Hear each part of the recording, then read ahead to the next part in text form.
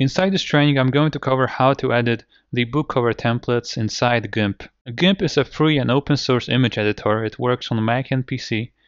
It's a great alternative for Photoshop and it has quite a lot of uh, different functionalities and tools, making it a very versatile tool.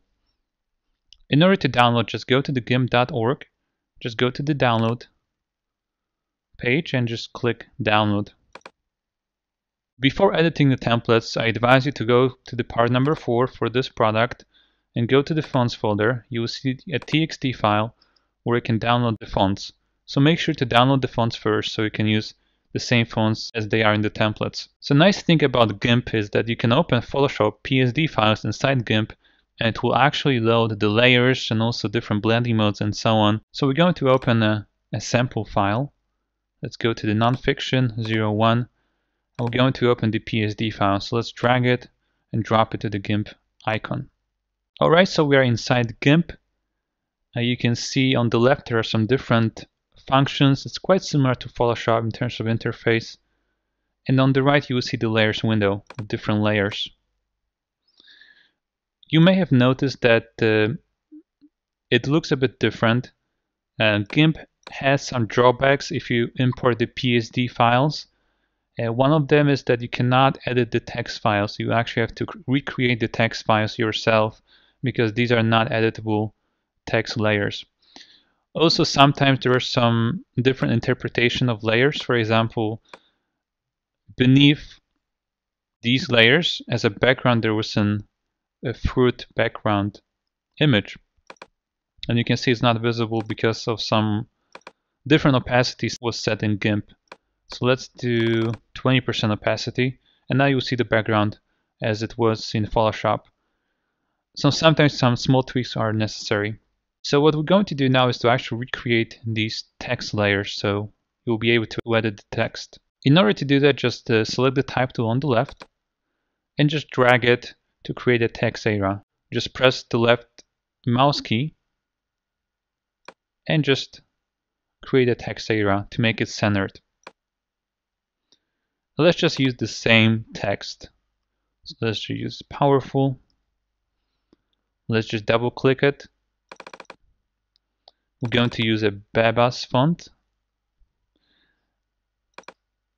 And let's make it white color.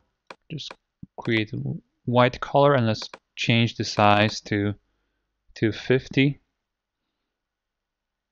We can also make it centered. If you go on the left, there's a tools option window you can select the justify option to the center like this. If you don't know what the font is, for example, what are these fonts, you can open the PowerPoint files and they will indicate what kind of fonts are used in the template. You can see that the layers beneath some other layers, so if you go to the layers window, we can actually move it up so it's more visible. So let's drag it and drop it a bit up like this. So now it's more visible. Let's select the move tool on the left and let's just move it up like this. We can also duplicate the layer so we don't have to repeat the same process in the layers window. Just right click on the powerful layer and just click duplicate layer. Now we can move it using the move tool. Let's move it down. I think I selected some other layers. Let's uh, go to the edit, undo, it's a good idea sometimes if some layers are above the text layers is to make them invisible. So then it's easier to select the text layers. So let's do it again. Just select the move tool and just move it down.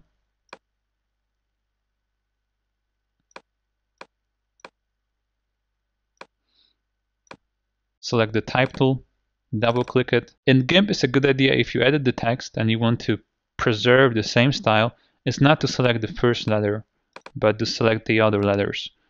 That way we're going to use the same style and the same font as you can see here. Superfoods. And let's remove the first letter. And let's now select the move tool.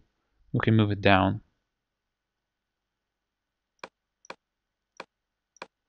Let's now remove these uh, uneditable layers. So if you go to the layers window, you will see that these are powerful superfoods. So we're going to remove them and we're going to move the new ones down.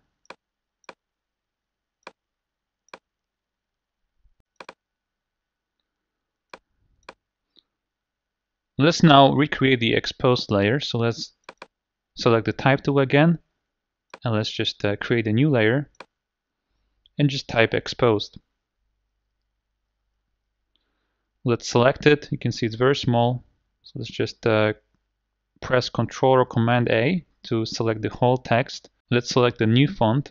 It's Edo. Let's make it a bigger. Let's do it 300. Let's do it 340. And let's choose a different color. Let's choose the yellow. You can see it's not visible because under some other layers. Let me move it up in the layers window. Just move it up above these layers. And now you can see it's visible. Let's just move it down in a similar position as the old layer. Now let's make the old layer invisible. It's actually this layer. Okay. Let's move it up and let's move it down like this.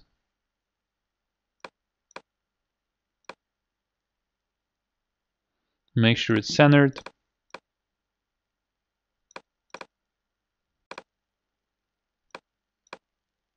And you can see that's how you can create the text layers. Let's remove the subtitle. And let's now create the text for the author's name.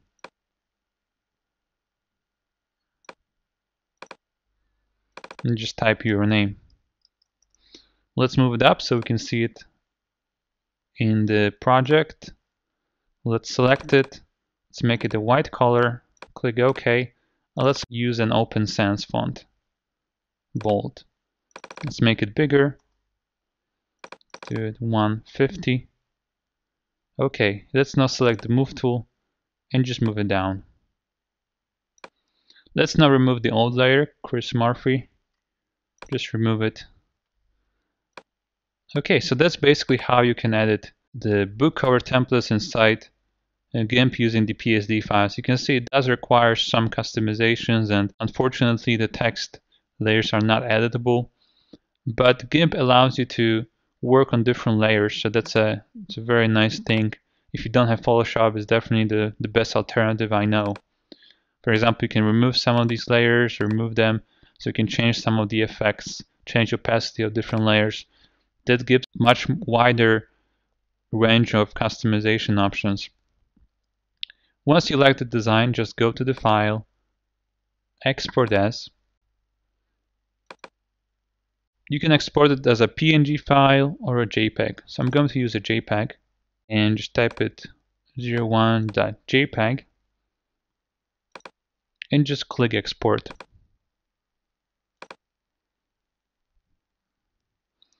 There are some options for the JPEG compression. You can change the quality. If you choose higher quality, the size of the file will be bigger. If you choose lower, then it will be lower. Let's just use stick with the 90. There are also some advanced options. Let's just use what it is and just click export.